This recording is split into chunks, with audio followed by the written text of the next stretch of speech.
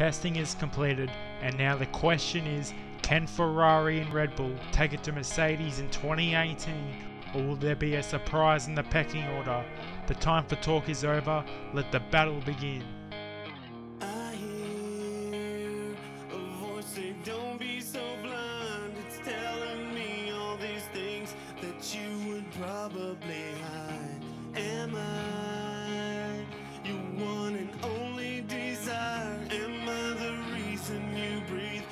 the reason you cry?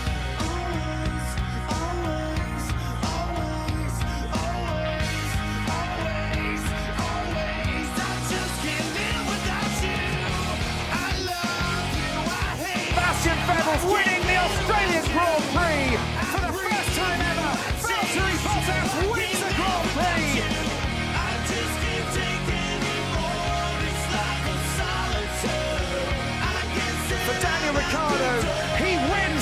Azerbaijan Grand Prix. always, always, always. I see the blood all over your hands. Does it make you feel more like a man? Was it all? He tested me. Just a part of your plan. The pistol shaking in my hands, and all I hear is the sound.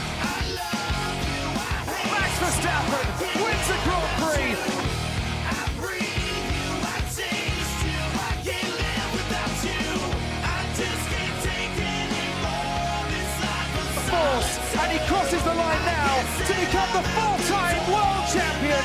Lewis Hamilton does it.